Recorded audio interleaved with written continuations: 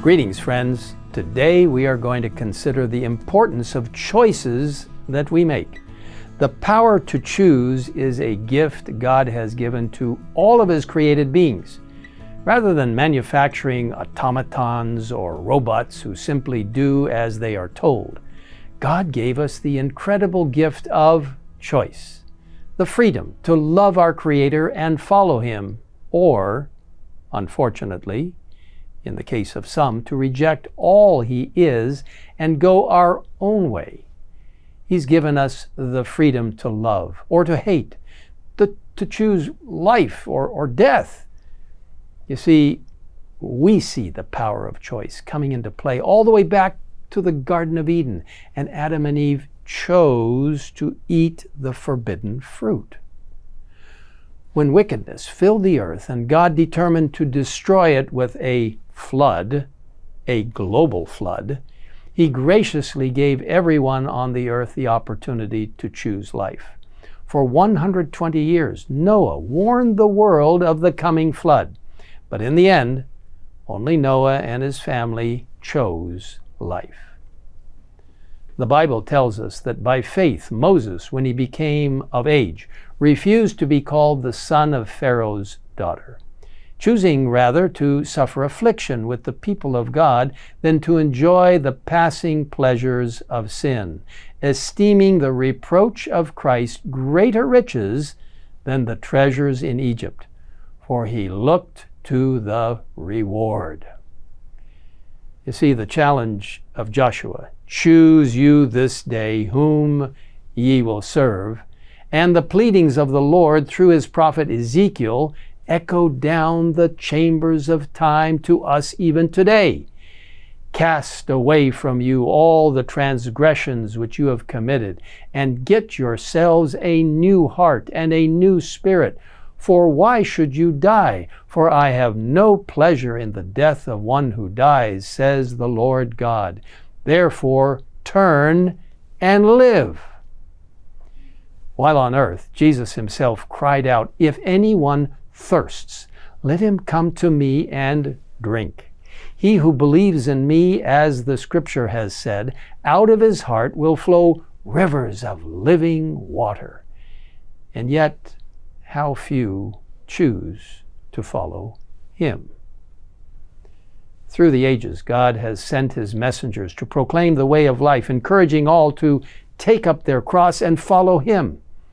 Friends, as we have been reading through the wonderful book, The Great Controversy, we have seen how God's people, such as the Waldenses, Wycliffe, Huss, and Jerome, Luther, Zwingli, Tyndale, and even young children have encouraged people to follow the scriptures and choose life. Such was the case of William Miller and others who, in the mid 19th century, were proclaiming the first angel's message of Revelation 14.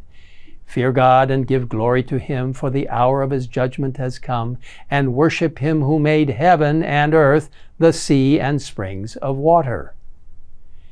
In chapter 21 of The Great Controversy, we read the following They had sought to awaken professors of religion to the true hope of the church and to, and to their need of a deeper Christian experience. And they labored also to awaken the unconverted to the duty of immediate repentance and conversion to God.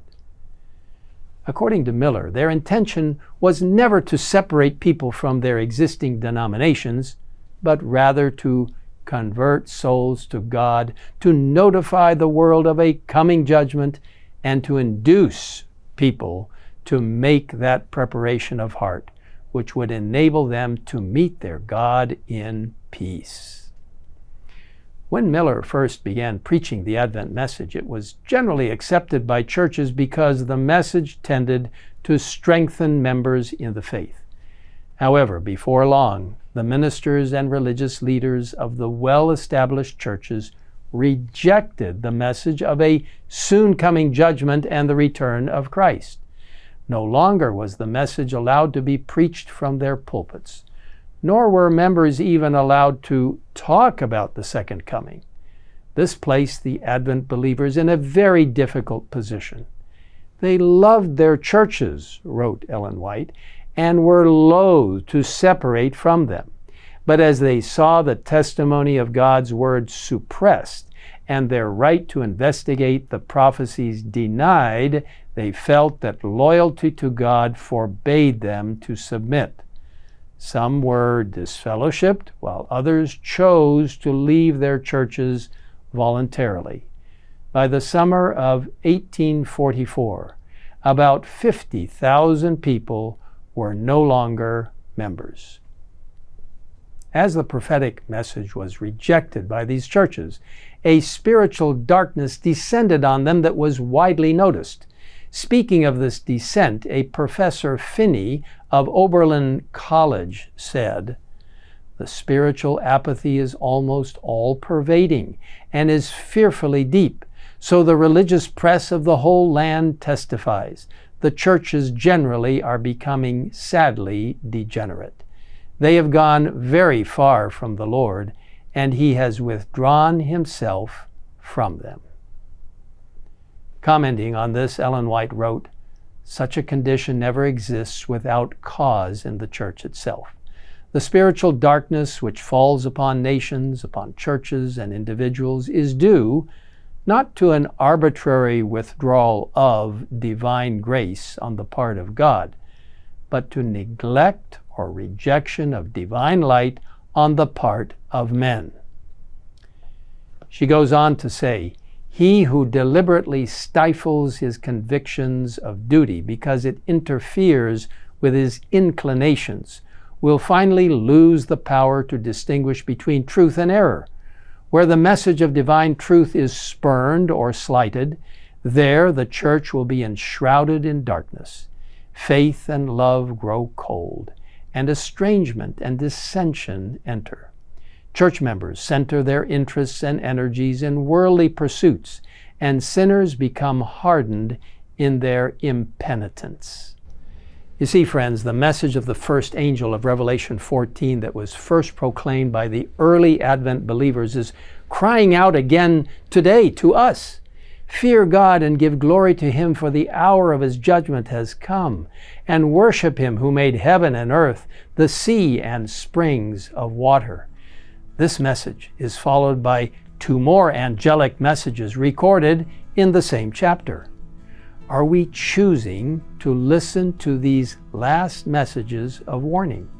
Are we choosing to share them with a world in desperate need? What choices are we making today that will last for eternity? As we consider these questions, I invite you to pray with me just now. Father in heaven, we ask in a very special way that you will come close to each one who is making a decision, a decision to follow you completely. Help us to make the choice to accept the message of the first angel, the second angel, and the third angel of Revelation 14, verses 6 to 12. Help us to realize that you are calling us out of confusion and Babylon and into the true worship of God. Help us to make the right decisions and choices in our lives so that we can spend eternity with you. In Jesus' name we ask it. Amen.